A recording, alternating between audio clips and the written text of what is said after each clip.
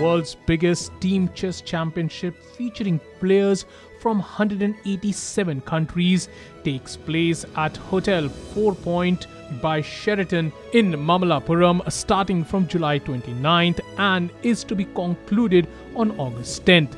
The Olympiad is being held in India for the very first time after being moved out of Moscow in Russia following the Ukraine Russia crisis.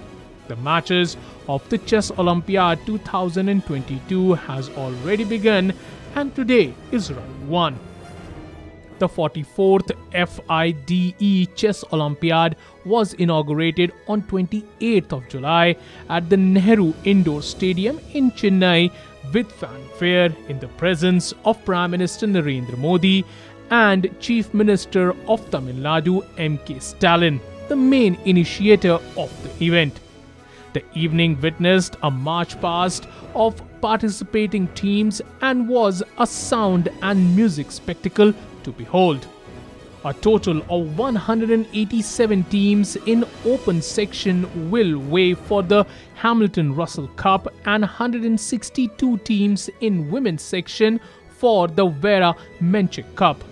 While the best combined results of a nation in both sections will decide the winner of the Nona Gaprindashvili Trophy.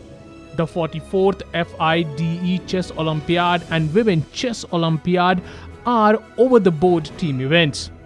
National chess federations compete in classical games for gold medals, trophies, and the title of the strongest chess nation in the world. The event consists of 11 round Swiss tournament.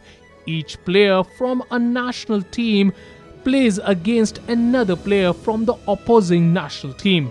Teams receive game points for winning or drawing games and match points for winning or drawing a match.